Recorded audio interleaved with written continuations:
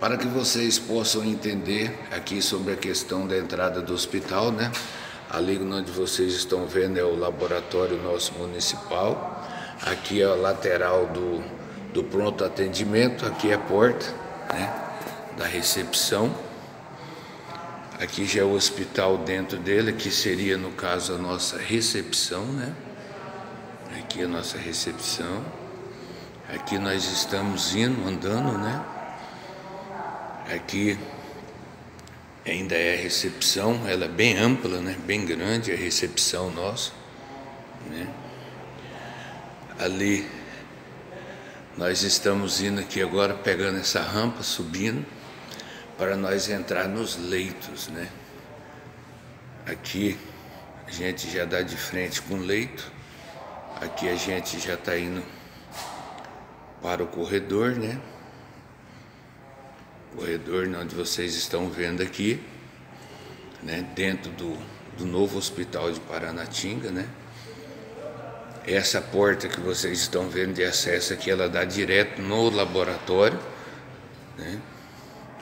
Aqui uma recepção, lá uma espécie de um banheiro, de um lavatório, né? E aqui mais um leito aqui, né?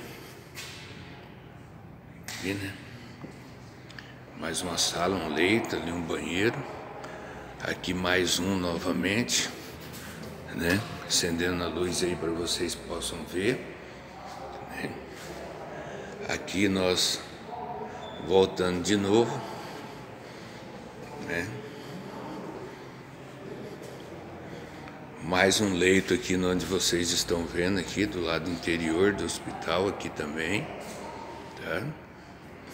Aqui já é a porta onde a gente estaria retornando novamente, né? Aqui novamente, mais um leito, onde vocês estão vendo, né? E aqui mais um leito também, só que está trancado. E aqui onde vai pro pronto, aqui vai pro, na verdade, para a sala de, é, de cirurgias, né? Onde vai ser a sala de cirurgias que falta para acabar, né? É, e aqui nós estamos retornando novamente, né? Como nós estivéssemos saindo, né?